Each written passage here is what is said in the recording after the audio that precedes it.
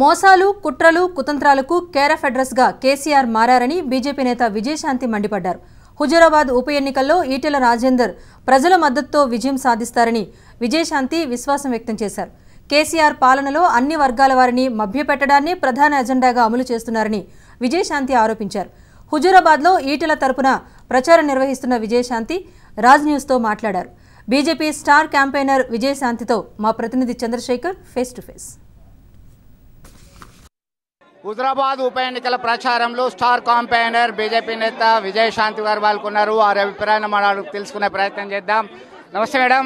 ఎట్లా ఉంది? మీరు ఇంతకుముందే హుజరాబాద్ పబ్లిక్ పల్స్ తెలుసుకునే ప్రయత్నం చేశారు. వారిని ఉద్దేశించి మాట్లాడారు బాగుంది చక్కగా ఉంది. ఈటల రాజేంద్ర గారు గెలుస్తారు. నో డౌట్ చక్కగా ఉంది. అండ్ పబ్లిక్లో కూడా చాలా క్లారిటీ ఉందండి.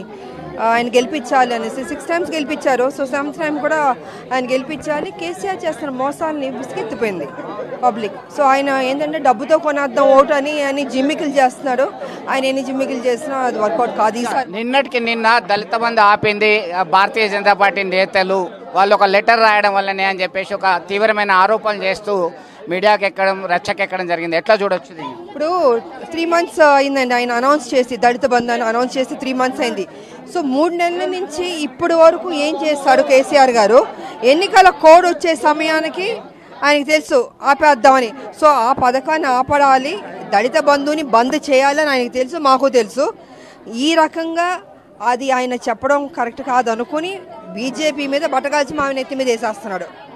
సో ఇది ఆయన వ్యూహం ఆయన మోసం ఆయన దళిత బంధు అనేది ఒక మాయ అది చేసేది కాదు ఇచ్చేది కాదు మాకు తెలుసు. కేసీఆర్ మోసం గురించి అందరికన్నా ఎక్కువ మీకే తెలుసు. మీరు సహచర ఎంపీగా ఉన్నారు.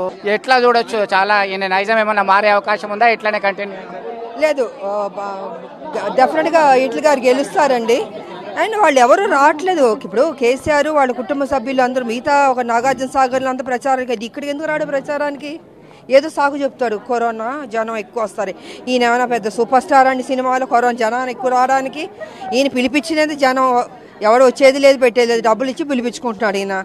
సో ఈ యొక్క సాకులు కుంటి సాకులు కాదు. రండి. ఇక్కడ పెట్టి మీటింగ్ పెట్టి మాట్లాడాను ఎందుకు రాడంటే ఇక్కడ హుజరాబాద్ జనం అంటే భయం ఆయనకి. ఈటల ఈటల గారు అంటే భయం బీజేపీ అంటే భయం.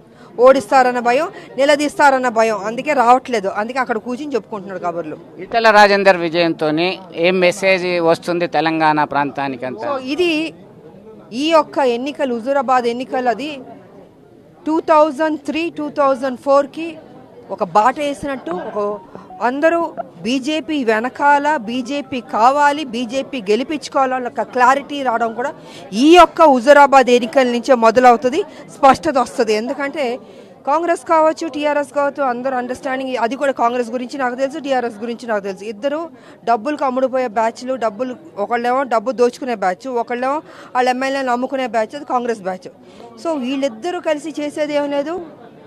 ఉద్ధరించేది ఏం లేదు తెలంగాణ. ఒక బీజేపీ రావడం వల్ల ఒక మార్పు వస్తే ఒక డిసిప్లిన్ ఉంటుందండి. ఈ రకంగా దోపిడీ ఇంత దరిద్రం అసలు. అపహాస్యం చేస్తాడు. అసెంబ్లీలో ఒక ముఖ్యమంత్రిగా ఒక మాట అంటే కట్టుబడాలి. ఇస్తాను అంటాడు నేను ఇస్తాను అని అనలేదు అంటాడు. అంటే సెకండ్స్లో మాట మారుస్తాడు. డబుల్ స్టాండర్డ్ ఊసరవల్లిలాగా. ఫికర్ మైండ్ సో ఈ- ఇలాంటి ఒక ముఖ్యమంత్రి ఉండడం కరెక్ట్ కాదండి. తెలంగాణని నవ్వులపాలు చేస్తాడు దోపిడీ చేస్తాడు.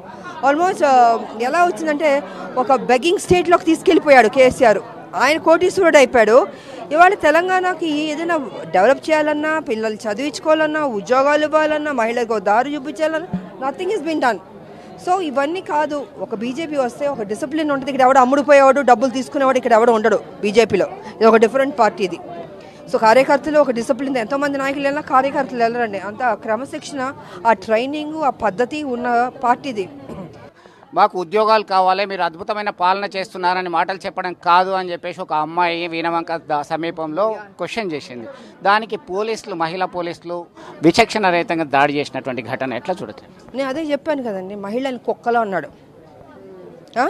ఈయన దొరగారు ఒక నియోజకవర్గానికి వస్తుంటే అంట మహిళలందరూ లైన్లో ఎండలో నుంచోబెట్టి నమస్కారం పెట్టాలంట. నేనేమన్నా మీ ఇంటి నౌకర్లా? మా ఆడబిడ్డలు? ఆ? ఆడబిడ్డలు? ఏ రకంగా మీరు అవమానిస్తున్నారు ఆడబిడ్డల్ని నా అక్క చెల్లెల్ని? అందుకే నేను అంటున్నానండి ఈ కేసీఆర్ దొర అంటే దొర. అందరూ నమస్కారాలు పెట్టి ఆయన కాళ్ళకి దగ్గర కూర్చొని బాంచని కాలు మొక్కుతాను. ఇలా ఉండాలని కోరుకుంటాడు.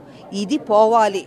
ఒక కరెక్ట్ సిస్టమేటిక్గా బ్యూటిఫుల్ అడ్మినిస్ట్రేషన్ జరగాలి అంటే అది బీజేపీ బీజేపీ రావాలి బీజేపీని గెలిపించుకోవాలి అది కరెక్ట్ ముఖ్యమంత్రి కూడా మన బీజేపీ ద్వారా రావాలి.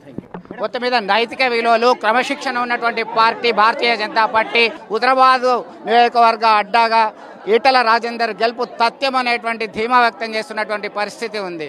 దాని పర్సన్ భిక్షపతితో చంద్రశేఖర్ రాజ్ న్యూస్ హుదరాబాద్ నుంచి.